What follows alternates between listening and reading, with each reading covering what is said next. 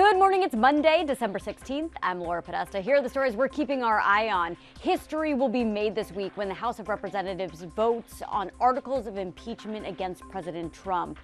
If those articles pass, the next step would be a Senate trial where Democratic Minority Leader Chuck Schumer wants current and former Trump administration officials to testify. His Republican colleagues disagree. I am ready to vote on the underlying articles.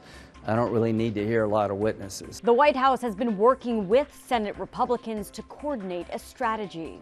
A man's been arrested in connection to the deadly shooting in New Jersey that targeted a kosher supermarket. Authorities say the man's cell phone number was found on a note in one of the shooter's pockets. And baseball legend Babe Ruth has knocked it out of the park again.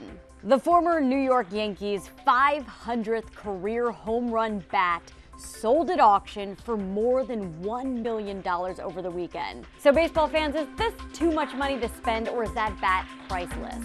Let us know. Those are the stories we're keeping our eye on. See you tomorrow.